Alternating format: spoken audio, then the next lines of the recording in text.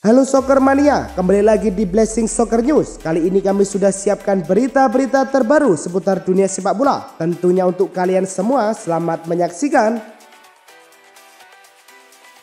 Resmi, Chelsea rekrut Malo Gusto. Chelsea melanjutkan belanjanya pada bursa transfer Januari ini. The Blues merekrut Malo Gusto dari Olympique Lyon. Chelsea mengikat Gusto dengan kontrak sampai Juni tahun 2030. Meski demikian, Bek berusia 19 tahun itu akan menghabiskan sisa musim ini di Lyon dengan status pinjaman.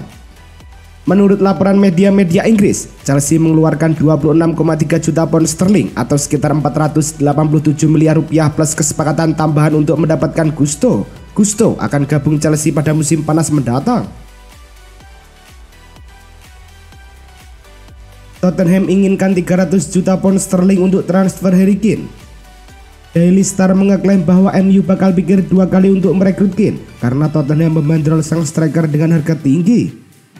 The Lilyweds menilai bakal sulit untuk mencari bomber house goal pengganti Kane, jadi mereka butuh uang yang banyak untuk mendatangkan pengganti itu.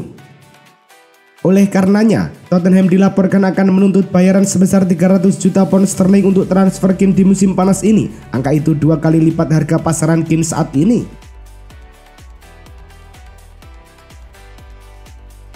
Erikson cedera pergelangan kaki. Erikson tampil sebagai starter saat MU menjamu Reading di babak keempat Piala FA di Old Trafford. Namun, dia terpaksa ditarik keluar pada menit ke-57. Kekhawatiran soal seberapa parah cedera Erikson pun muncul. Gelandang berusia 30 tahun itu terlihat meninggalkan Old Trafford memakai kruk dan sepatu pelindung di kaki kirinya dalam video yang diunggah supporter di media sosial. Manajer MU Erik Ten Hag menyebut Erikson mengalami cedera pada pergelangan kakinya. Meski demikian, Ten Hag belum bisa memastikan seberapa parah cederanya.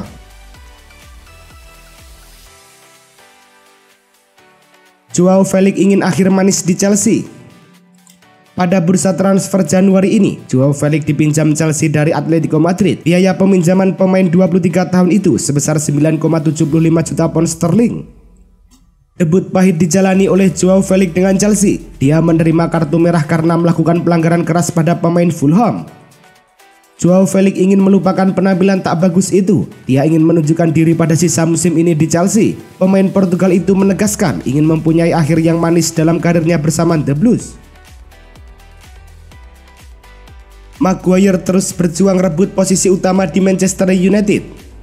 Semenjak Erik Ten Hag menukangi Manchester United, Maguire lebih sering menghangatkan bangku cadangan. Padahal pada musim sebelumnya Maguire selalu menjadi andalan di lini belakang Manchester United. Performa yang oke bersama Inggris di Piala Dunia tahun 2022 juga belum membuat Ten Hag terkesan. Kesempatan bermain yang kurang di Manchester United pada akhir musim ini tidak membuat Harry Maguire patah semangat. Pesepak bola asal Inggris tersebut menegaskan bakal berjuang untuk merebut kembali tempat utama. Hector Bellerin masuk incaran Sporting CP. Salah satu pemain yang dapat hengkang dari Barcelona dalam waktu dekat adalah Hector Bellerin. Pemain yang berposisi sebagai bek kanan itu baru bergabung dengan status bebas transfer pada musim panas tahun 2022. Laporan dari The Athletic mengabarkan bahwa terdapat peluang bagi Bellerin untuk pindah ke Sporting CP sebab pemain asal Spanyol itu tidak dapat menunjukkan performa yang diharapkan. Sejauh ini, belum ada kontak antara Barcelona dan Sporting, namun Bellerin diklaim siap meninggalkan Camp Nou untuk melanjutkan karirnya di Portugal. Arsenal beralih bidik Martin Zubimendi. Arsenal bakal fokus untuk mendatangkan Martin Zubimendi dari Real Sociedad. Gelandang berusia 24 tahun itu sudah lama diincar Arteta. Sang manajer sangat terkesan dengan permainannya yang apik selama di Sociedad. Jadi Arteta sudah mengutus manajemen Arsenal untuk mulai mendekati agen sang gelandang dan juga Real Sociedad untuk membicarakan transfer ini. Dilansir The Times, Zubimendi bisa ditebus dengan harga yang cukup mahal. Ia dibanderol sekitar 50 juta euro oleh Real Sociedad. Bayar Munchen pagari Kingsley Coman 100 juta euro. Masa depan Kingsley Coman bersama Bayern Munchen sempat menjadi bahan spekulasi menyusul keputusan pelatih Julian Nagelsmann yang beberapa kali menempatkannya di bangku cadangan pemain. Sky Sport memberi bocoran kabar di mana Bayern Munchen masih memiliki peluang untuk melepas Kingsley Coman pada bursa transfer musim panas tahun 2023 mendatang. Akan tetapi, Die Bavarian meminta klub peminat untuk segera menebusnya dengan nilai transfer sebesar 100 juta euro atau setara dengan 1,6 triliun rupiah. Uang jajan Dani Alves di penjara 1,6 juta rupiah. Dani Alves saat ini meringkuk di tahanan. Dia terjerat kasus pemerkosaan. Sudah lebih dari sepekan Alves berada di penjara dan kini terkuak kalau dia mengantongi uang saku selama berada di sana. Menurut Fiesta, mantan pemain Barcelona tersebut mendapatkan sebuah kartu yang dapat dipakai untuk berbelanja di toko serba dalam rumah tahanan. Yang menarik adalah nominal saldo dalam kartu Alves adalah 100 euro atau setara dengan 1,6 juta rupiah, angka yang sangat kecil dibandingkan dengan kekayaan yang dimiliki pemain asal Brazil tersebut. Casemiro bangkit bersama Manchester United Sejak datang ke Manchester United, Casemiro sudah bermain 29 kali di semua ajang.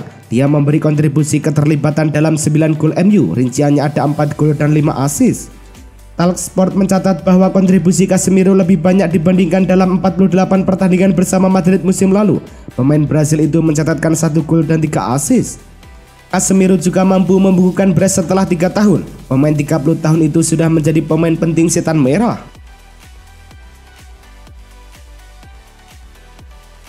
Safi beri satu kritikan untuk Pedri. Pedri berhasil mencetak satu-satunya gol di laga lawan Girona. Ini membuat dia sudah mencetak 5 gol dari 18 laga La Liga. Laga lawan Girona itu juga merupakan penampilan ke-100-nya untuk Barca. Safi menyebut Pedri merupakan salah satu gelandang terbaik di dunia, tapi dia meminta ex pemain Las Palmas itu untuk lebih berani memberikan umpan terakhir. Pedri harus meningkatkan umpan terakhirnya menjadi lebih berani. Tapi ya, Gavi dan Frankie De Jong juga perlu meningkatkannya juga, ucap Safi seperti dilansir Barca Universal. Carlo Ancelotti tutup peluang anaknya jadi pelatih. Mengenai masalah itu Ancelotti mengakui Davide Ancelotti memang ingin menjadi pelatih, tapi untuk sekarang dia tidak melihat peluang tersebut. Don Carlo menilai kemungkinan Davide menjadi pelatih kepala sangat terbuka. Namun, kapan waktunya ia menilai ketika dirinya pensiun? Davide Ancelotti sudah beberapa tahun menjadi asisten pelatih sang ayah.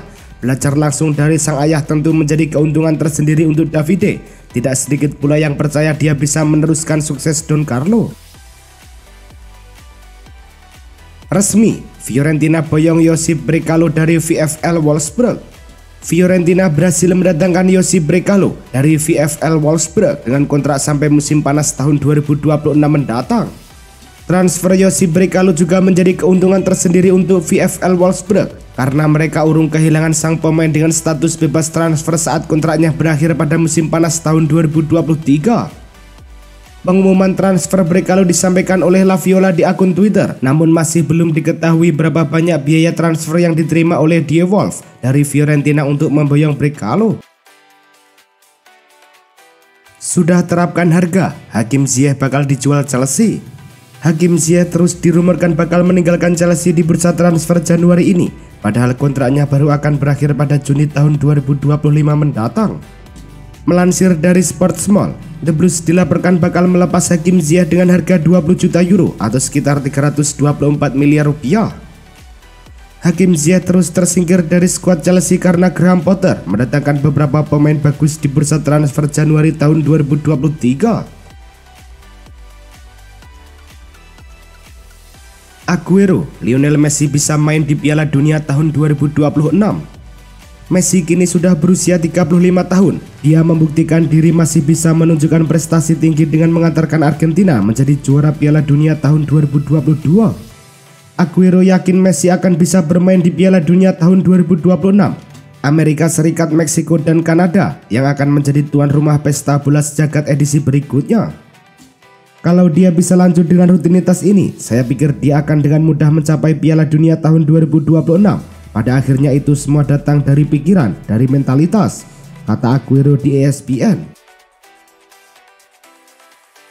Milan versus Sassuolo, Rossoneri dihajar 25 di San Siro.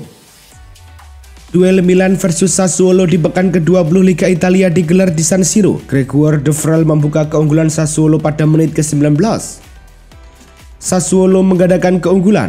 David Fratesi yang mencatatkan namanya di papan skor.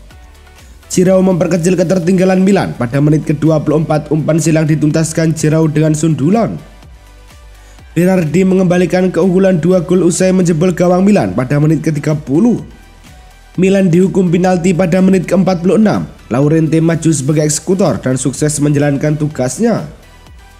Sassuolo membuat Milan makin terbenam pada menit ke-79. Matteo Henrique menjebol gawang Milan. Milan berhasil memperkecil ketertinggalan pada menit ke-81 lewat sepakan Divock Origi. Skor 2-5 menjadi hasil akhir laga kali ini. Juventus versus Monza, Bianconeri tumbang 0-2.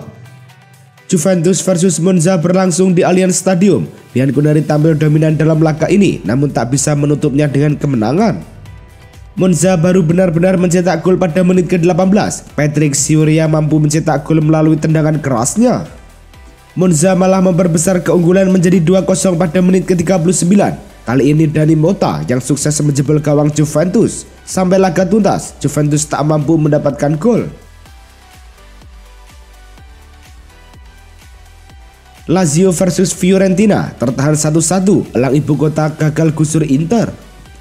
Lazio menghadapi Fiorentina di Olimpico pada laga lanjutan Liga Italia. Senin dini hari waktu Indonesia Barat, tuan rumah membuka keunggulan di menit ke-8 via Nicolo Casale. Pada menit ke-49, Lazio akhirnya bisa mencetak gol. Kali ini Provadil gagal menjangkau bola sepakan melengkung Nico Gonzalez dari luar kotak penalti.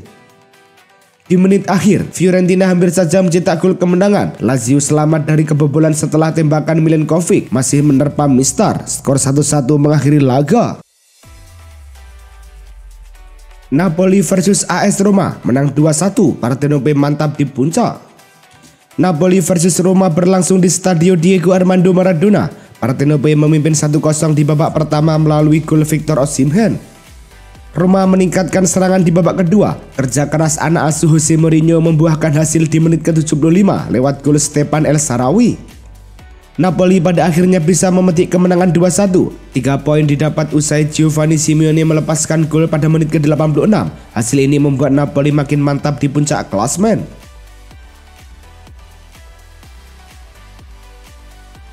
Leverkusen versus Dortmund, Die Borussen menang 2-0. Leverkusen versus Dortmund berlangsung di Stadion Bay Arena. Dortmund perlahan bisa mengambil alih permainan dan Karim Adeyemi mampu merobek gawang Leverkusen. Dortmund mampu memperbesar keunggulan menjadi 2-0 pada menit ke-53. Edmundo Tasoba melakukan gol bunuh diri setelah gagal mengantisipasi bola dari lawan. Leverkusen berupaya keras menekan Dortmund. Di sisi lain, tim tamu juga tampil baik dan sampai laga tuntas skor 2-0 tetap bertahan untuk kemenangan Dortmund. PSG versus Reims, 10 pemain Les Parisiens tertahan satu-satu. PSG menjamu Stade de Reims di Parc des Princes pada laga lanjutan Ligue 1. Tim tamu memberi perlawanan sengit kepada tuan rumah. Selepas jeda, tuan rumah bisa memecah kebuntuan di menit ke-51. Neymar sempat mengecoh Yevan Diouf sebelum menggetarkan jala Reims. Reims baru mengurung PSG di menit akhir mengejar gol penyama kedudukan. Volarin Balogun mampu melewati Donnarumma lalu mencetak gol hasil imbang menutup 90 menit. Duel Osasuna versus Atletico dilangsungkan di Stadion El Sadar. Duel Osasuna versus Atletico dilangsungkan di Stadion El Sadar pada Minggu. Atletico baru menciptakan peluang berarti pertamanya saat laga bergulir 25 menit. Skor 0-0 bertahan sampai turun minum. Kebuntuan Atletico akhirnya terpecah. Saul Niguez menggetarkan gawang Osasuna untuk membuka keunggulan Atletico 1-0 pada menit ke-74. Kemenangan itu menandai kebangkitan Atletico usai disingkirkan Real Madrid di perempat final Copa del Rey di tengah pekan. Real Madrid versus Real Sociedad tuntas 0-0. Duel Madrid versus Sociedad digelar di Santiago Bernabeu Kedua tim sama-sama menghasilkan banyak peluang, tapi Madrid lebih dominan. Memasuki 10 menit terakhir, Marco Asensio melepaskan umpan terobosan yang disambut Luka Modric dengan sepakan mendatar dari sisi kanan, bola masih melenceng. Di sisa waktu pertandingan, tidak ada peluang lain yang tercipta. Skor 0-0 bertahan sampai laga bubar. Dengan satu tambahan poin ini Madrid gagal memangkas jarak dengan Barcelona di puncak klasmen. Brighton versus Liverpool kalah 1-2 si merah tersingkir dari Piala FA. Brighton menjamu Liverpool pada lanjutan keempat Piala FA. Liverpool bisa memecah kebuntuan di menit ke-30 via Harvey Elliott. Brighton menghadirkan gol penyama kedudukan 9 menit berselang di menit ke-39. Tembakan Tarik Lamti membentur Lewis Dong. Brighton bisa mencetak gol di menit akhir. Karumi Toma melepas sepakan keras yang menggetarkan jala Liverpool pada menit ke-92. Brighton memenangi laga 2-1 untuk melaju ke babak berikutnya. AC Milan kalah telak lagi, bikin sejarah buruk. AC Milan secara mengejutkan dipermalukan Sassuolo 25 Hasil mengecewakan itu membuat Milan mengukir sebuah torehan yang tidak diinginkan. Statistik Opta menyebut, AC Milan kebobolan setidaknya kebobolan 4 gol dalam dua pertandingan beruntun di Serie A untuk pertama kalinya dalam sejarah klub. Tidak bisa dipungkiri AC Milan memang sedang dalam periode sulit. Giroud dan kawan-kawan gagal memenangi empat pertandingan terakhirnya. Ya, dengan hasil dua kali seri dan dua kali kalah. Itulah tadi kumpulan berita-berita terbaru dari kami. Simak terus berita-berita terbaru lainnya dan jangan lupa like, komen, dan juga subscribe.